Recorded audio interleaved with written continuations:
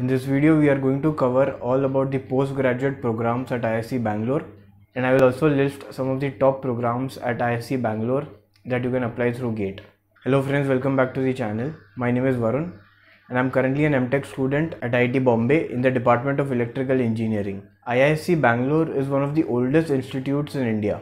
It is one of the best institute in India for research and it has several tie-ups with industry and government agencies. After the GATE exam, IISc Bangalore is the earliest to release application forms to its postgraduate programs. The application process happens between mid of February to mid of March. Since it is so early, just after giving the GATE exam, many students miss the deadline. It would be very unfortunate to miss an opportunity of getting into such a great institute. The institute focuses mainly on research, so its postgraduate programs are one of the best in the country. Now let's get into the types of postgraduate programs offered at IISc Bangalore. The postgraduate programs can mainly be categorized into two categories. The first one is the course program which includes MTech, Masters in Management and Masters in Design. The second one is research program which includes MTech Research and PhD. Let me explain how is the MTech Research program different from MTech coursework program.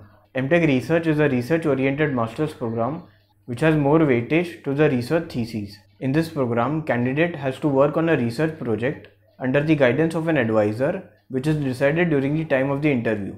Whereas the MTech coursework program is a regular MTech program which has more weightage to the coursework. The candidate has to complete the courses in the first year and then work on a research project in the final year. The duration for the MTech coursework program is fixed for 2 years, whereas the duration of the MTech research program varies from 2 to 3 years. Apart from these engineering programs, IISc Bangalore also offers product design and management programs through GATE.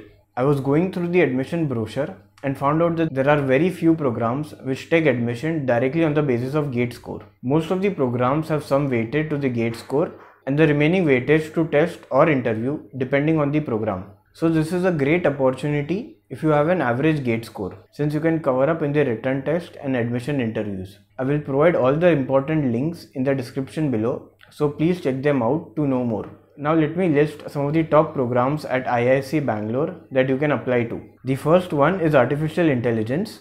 This is the two-year MTech program which is jointly offered by Electronics, Electrical and Computer Science Department of IISc Bangalore. Gate papers which are eligible to apply are CS, EE and EC. The final admission is based on 70% gate score and 30% written test. The syllabus for the written test is linear algebra, probability, data structures and algorithms and programming questions. The second one is computational and data science. This department offers both MTech coursework and MTech research programs. There are several gate papers which are eligible to apply for these programs. For admissions, students are first shortlisted based on their gate score, followed by a test and an interview. The syllabus for the test is linear algebra, probability, calculus, data structures and basic programming. In the oral interviews, students are asked questions on their core subjects.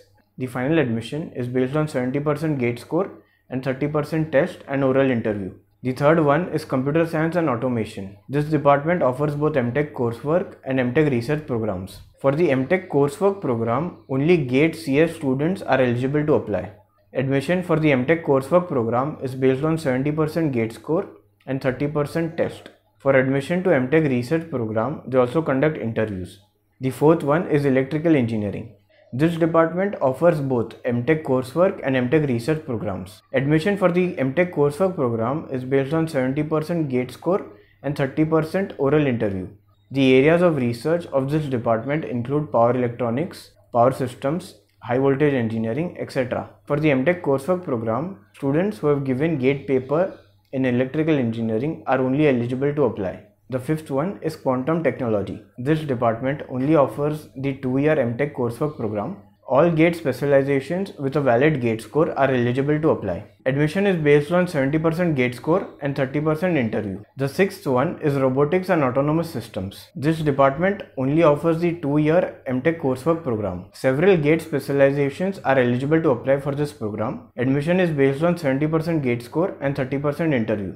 In the interview, candidates are asked questions from basic engineering and mathematics. The seventh one is management. For all the students who are interested in management, IISc Bangalore also offers Masters in Management through GATE. Selection is based on 15% GATE score 15% performance in your undergraduate, 30% communication skills, and the rest 40% is based on your performance in the interview. So these were some of the top programs that you can apply at IISc Bangalore. Some of the programs like quantum technology and robotics and autonomous systems are very new and IISc Bangalore keeps coming up with new interdisciplinary programs. So to know more about such programs, please go through their admission brochure. This is not a complete list of all the programs which are offered at IISc Bangalore. There are several other courses not covered in this video which again you can find in the admission brochure. I will provide a link to all these courses in the description below so please check them out. I hope this video gave you a good idea about the master's program at IISc Bangalore. If you want me to make a video on any specific topic then please let me know in the comment section. Thanks for watching and see you in the next video.